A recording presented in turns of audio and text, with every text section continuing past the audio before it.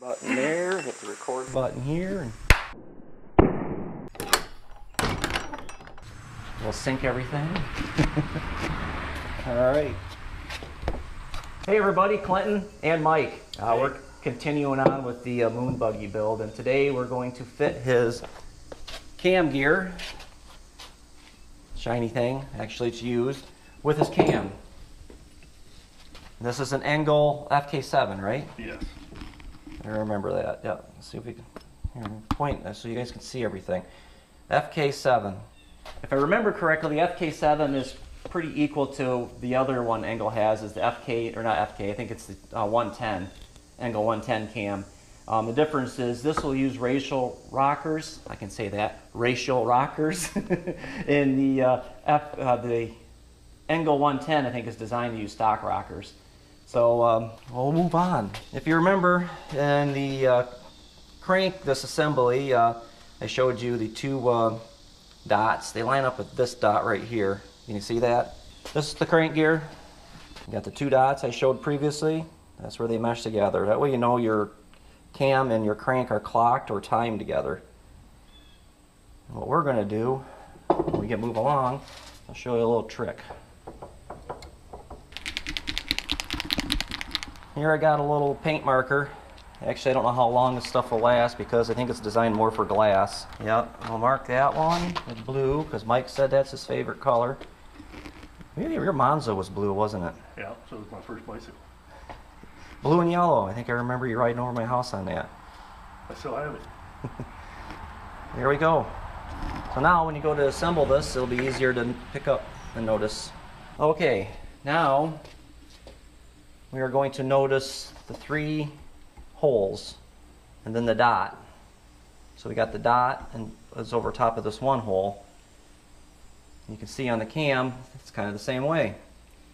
It will, the cam will go together this way if you line the bolts up, but that's going to be wrong. You see, there's no dot there.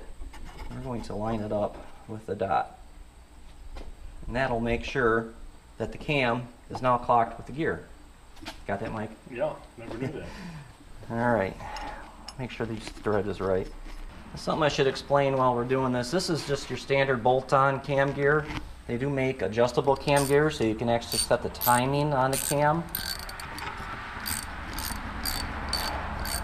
We don't need to do that. Because Mike's not really wanting to go fast. I'm doing a race. And right now I'm just trial fitting the, the bolts to the cam and everything. But I will use a lock washer. I like to use the wave washers. And Loctite. First time I put one of these together years ago, like one of the first engines I ever rebuilt, I used this, the actually the washers that came with the bolt. And they're those star-like washers, with the little ends on them. Oh, yeah. They all broke.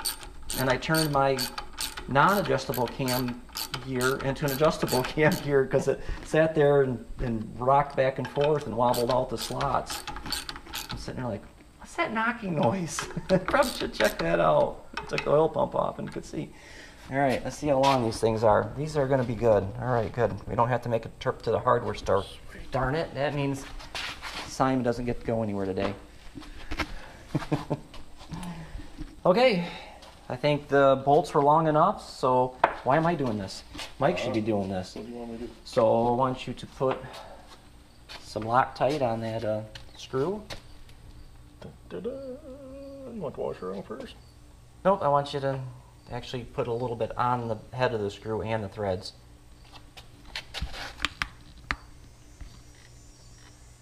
And if you can dip a little on the, the, the surface of the, yep, there we go. Oh, you're really gluing it on. Don't want them to come loose. And uh, put this on. Yep, put it on and then, Try her out. oh, I may need to pick up on this a little bit. Ah, that one went. Okay, now do the other, yeah, we'll do, we'll do them all first and. Sweet. All right. Come on. Come further.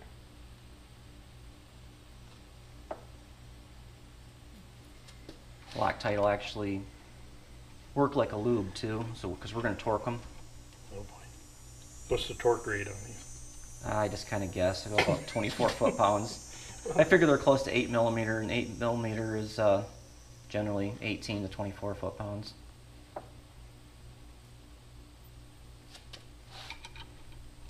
Torque them so they're tight. right? So snug them up with the. I usually do it just so they're tight and then they get really easy. Which means I overdid it. I stripped them. I had a case like that was really soft. It was an aftermarket. I stripped out the bolts on my Nova, putting a new alternator on it. Oh, jeez. All right, where's my torque wrench set? Oh, I got to reset it. I used Slade's uh, suggestion and started putting my torque wrenches down to zero. Keep it off tension. Yep. Okay, so 21 and a half, two, three, four. Lock her down. Change out. I'll let you do that, and we will, I'll hold it. Wow, my, yeah, there you go.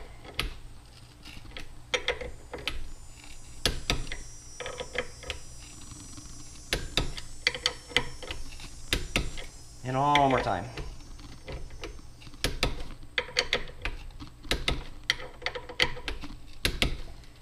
Yeah, we'll take a good look at it. It should be good. Doesn't look crooked. And that's pretty simple, but that's pretty much how you put a cam gear on a cam. I know it's really exciting. but yeah, next next um, job will be to trial fit it in the case to make sure there's a little bit of end play. Uh, but we got some other things to do. But uh, we'll just show you a little bit before we sign out here. Got the case back. All machine work done on it, and some bad news. Um, Mike had to actually get a new case because he took uh, his case home, and when he was power washing it, he discovered there was a hole. Where was that hole? Right around here. This whole corner was missing. Yep.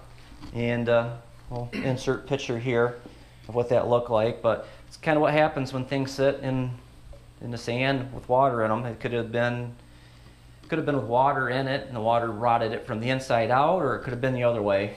Could have rotted from the outside in. But uh, it's unfortunate. But yeah, our machinist actually has a whole selection of cases, and he got that one around for us. Here's the other goodies. Got a lightened flywheel. We lightened it to about 14 foot pounds, and it's balanced. Crank polished up nicely. It's still standard um, rod journals and can um, camber no rod journals and main journals.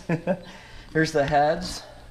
Um, we decided to keep the 32 millimeter exhaust valves, but we did change out for stainless steel.